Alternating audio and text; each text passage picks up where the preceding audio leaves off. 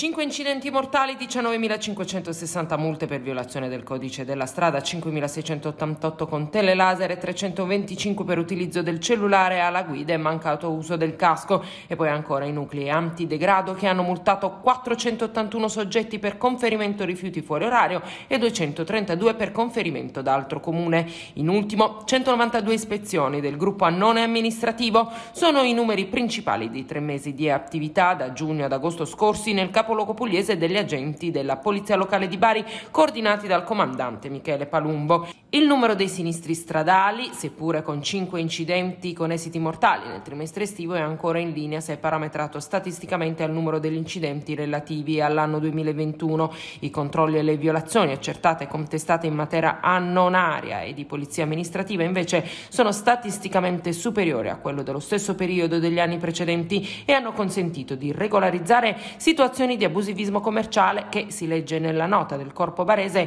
alterano gli equilibri del circuito commerciale. L'attività di vigilanza e controllo del territorio per la difesa dell'ambiente per garantire la regolarità dei servizi di igiene urbana ha condotto anche a sequestri di aree adibite a discarica. Lotta all'uso di alcol e droghe, anche in questo caso sono state 58 le segnalazioni e contestazioni. Il numero delle violazioni per inosservanza del codice della strada è in linea col trimestre degli anni precedenti e denota una intensificazione dei controlli per il monitoraggio della velocità veicolare all'interno del centro abitato con l'uso di telelaser e autovelox.